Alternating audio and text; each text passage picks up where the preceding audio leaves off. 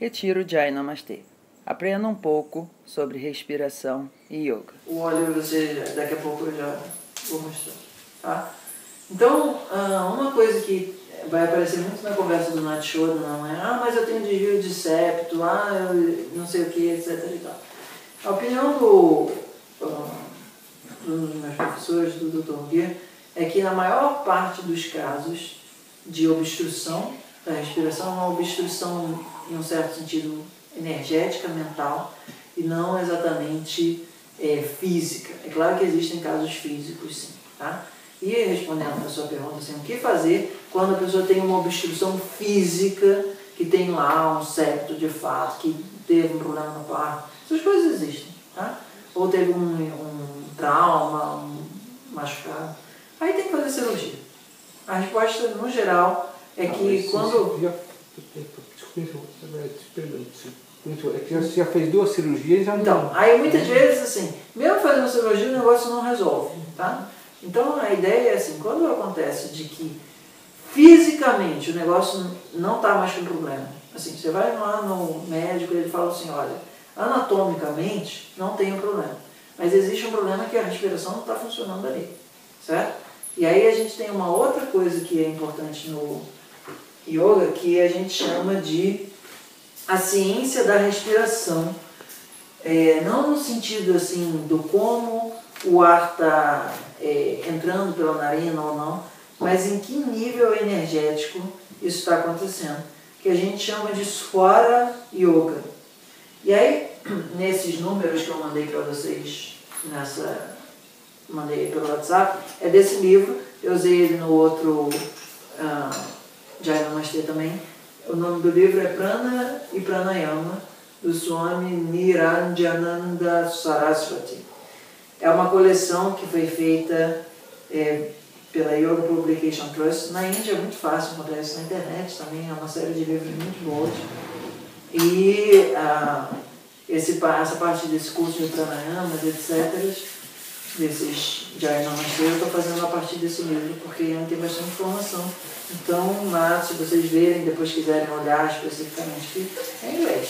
Mas eu falo para as pessoas assim, quer estudar Ayurveda e Yoga, pode ter certeza que você vai precisar estudar uma outra ciência irmã, que é o inglês, antes do sânscrito. Mas assim, primeiro, para poder se aprofundar, porque em português a quantidade de material que tem sobre isso é muito pequena.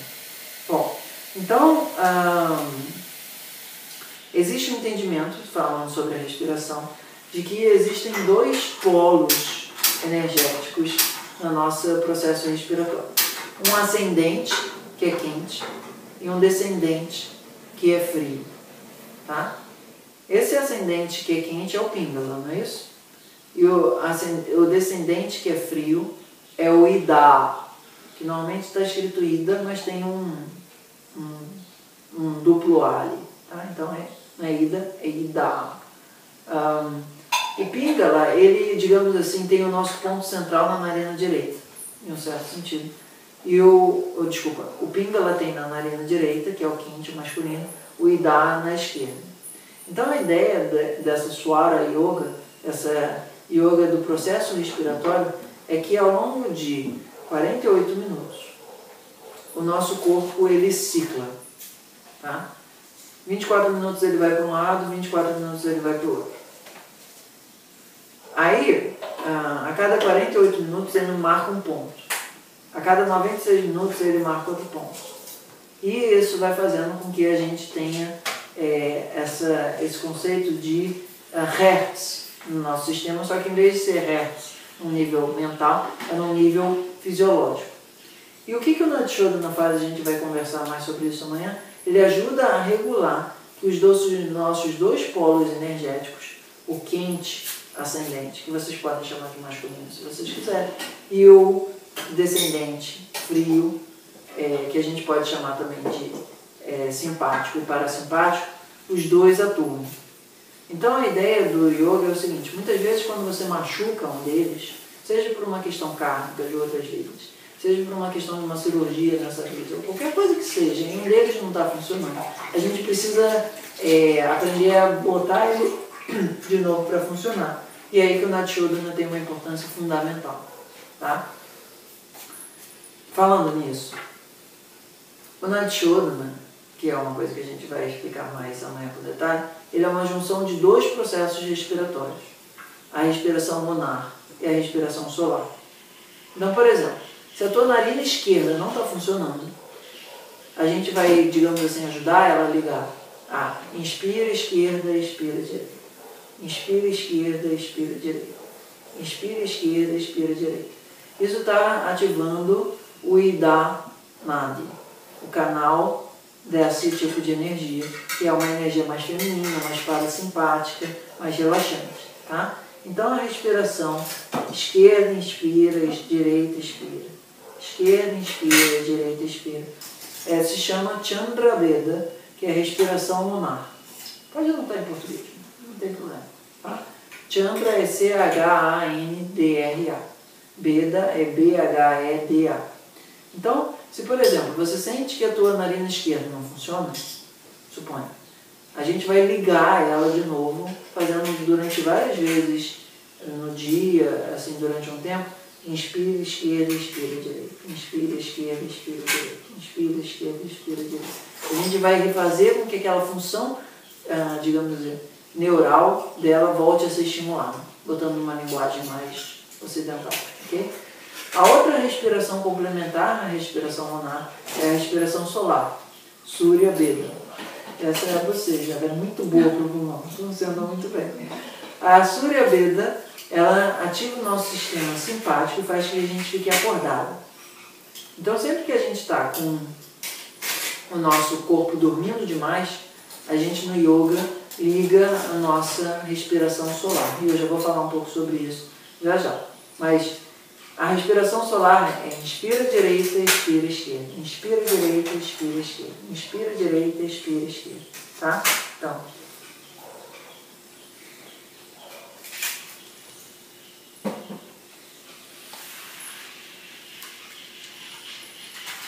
A gente vai ficar fazendo isso. Amanhã a gente vai praticar isso com mais detalhe, porque hoje eu queria só meio que o grande porque senão é informação demais, às vezes, para a pessoa metabolizar, tá? Então, essa respiração solar, ela ajuda a gente a estimular o nosso metabolismo a ficar acordado, que é Surya Beda, S-U-R-Y-A, Surya Sol, Chandra é Lua. Surya Beda, Beda é o caminho, ali, está atravessando aquilo, tá? Então, inspira direita, expira esquerda, quebrar, né? Aquele, vai passar ali, tá? Então, às vezes, se a tua narina direita não funciona nem a pau, suponha, você fica fazendo essa respiração induzida, que você não está, digamos assim, deixando o teu corpo respirar. Você está ajudando o teu corpo a ligar determinados fluxos energéticos, que dentro da nossa medicina a gente chama de fluxos neuronais, caminhos neuronais. Dentro do yoga a gente chama de fluxos energéticos através dos caminhos do prana que a gente chama de nadis. Tá? Então o yoga enxerga nosso sistema como se fosse um grande cérebro, onde a gente tivesse sete pontos centrais que a gente chama de chakras. E entre esses chakras existem caminhos neuronais entre um chakra e outro, chamado nadis, tá? E esses nadis, eles sempre vão fazer uma conexão com algum chakra. Porque o chakra é justamente os pontos de convergência dos nadis, por isso eles se tornam tão importantes. Ok? Até aqui? Então, a resposta é Dentro do yoga, muitas vezes a pessoa corrige esse, digamos, esses problemas de respiração com práticas de reativação cardíaca desses ah, caminhos neuronais. Ok até aqui? Estamos vivos? Estamos juntos? Alguma pergunta até aqui? Sim, não? Bom, então, para a gente fechar essa parte, quais são os fatores que é, influenciam a, a dominância nasal?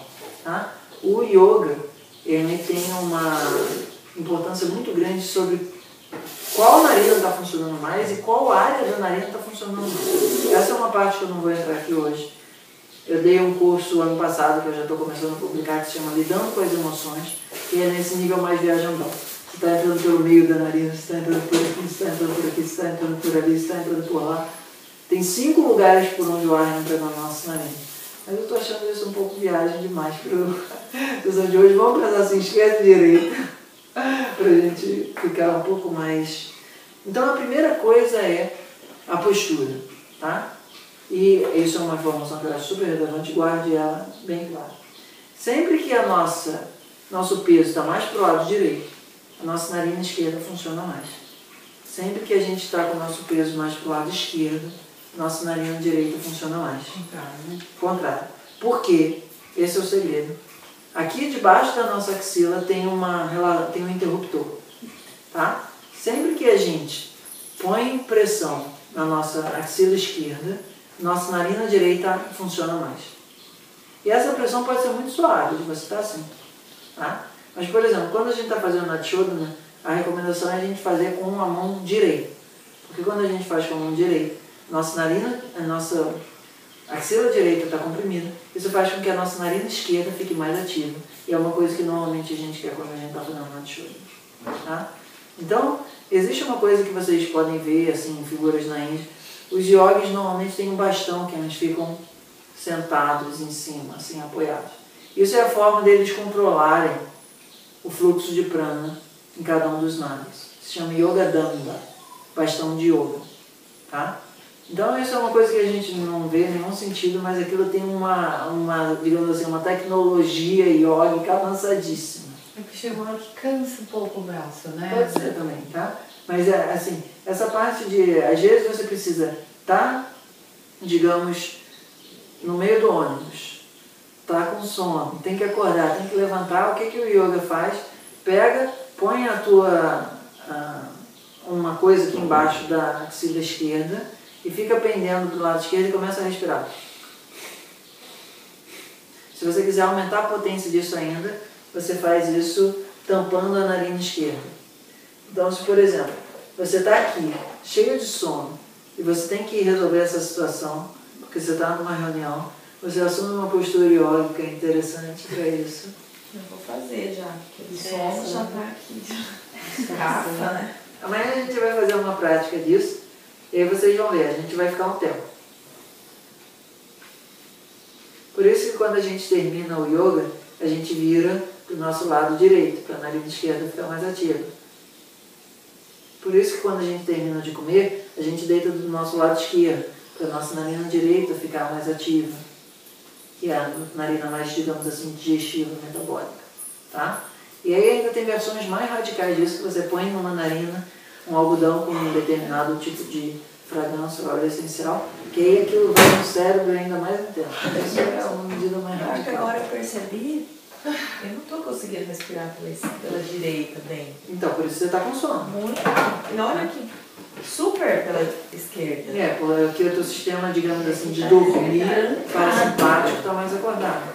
Tá? Aí observa quando você terminar a comida, o que, que acontece. Quando a gente come, a nossa narina direita, no geral, está funcionando mais, senão a gente fica com sono. Tá? Por isso que o yoga tem muito essa questão assim do lado que você está. Cada lado, na fisiologia iógica da respiração, tem uma importância muito grande no fluxo de prana. Basicamente, a direita acelera, a narina direita acelera, a narina esquerda diminui.